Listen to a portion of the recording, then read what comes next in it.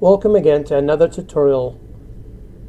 Tonight I'd like to talk to you about finding asteroids and comets in your images or plain finding them in the night sky.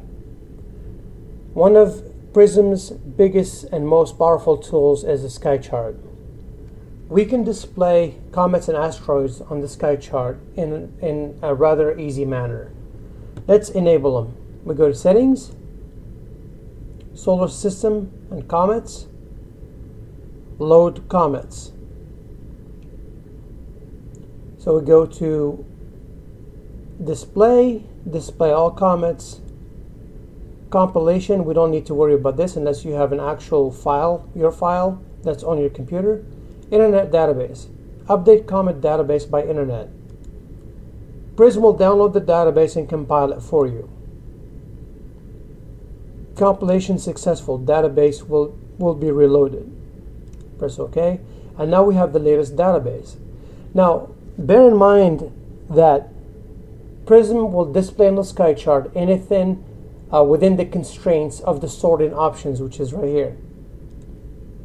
Right now, I'm only displaying magnitudes from negative 5 to 15. Let's remove this and see what happens. All these yellow objects are, are comets. So if you want to display all of them, you just remove the sorting option. If you want to limit it to the brightest ones like I did, you go back here and you limit them to up to magnitude 15. Let's zoom in a little bit.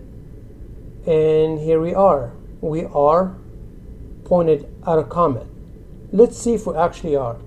Let's take a 10 second exposure.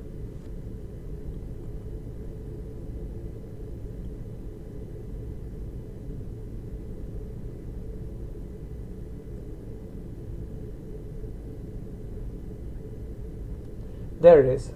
To find the, the precise location of your mount, you go to Observatory, Telescope Tools, find telescope position.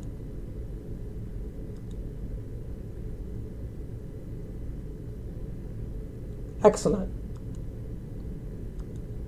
Here we are. So the sky chart is updated with the actual precise location of the telescope. Now, Finding comets and asteroids in your image is a two-step process. Number one, you, we need to plate solve the image. So we go to Analysis, Plate Solving, Single Image.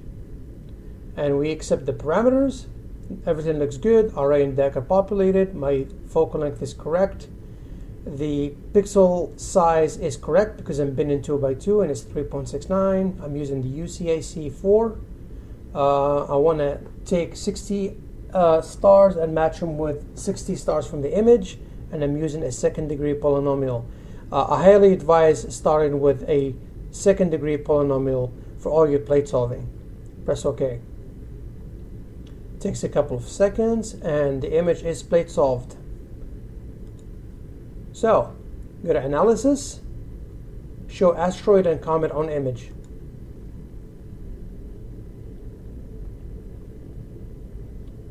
Prism is using the RA and Dec and time and date from the FITS header of the image to compare it to the databases it compiled earlier. If it's successful, it will show us the candidates that it found, and we'll double check with the magnifier.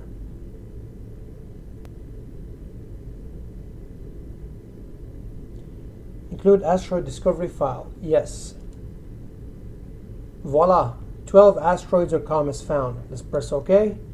And this is, Prism will annotate the image for us and show us what the objects it found on the image using the data from earlier, RA and Dec, time and date. Let's use the magnifier tool.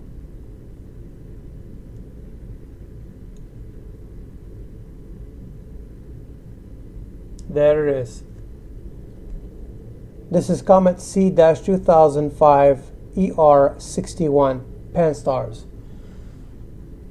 This concludes this tutorial um, to show you how to find objects in your images. Remember that your images need to have the correct information in the right format in the FITS headers. And you're able to extract objects from it using Prism that easily. I hope you enjoyed this video as much as I did, and I'll see you on the next one.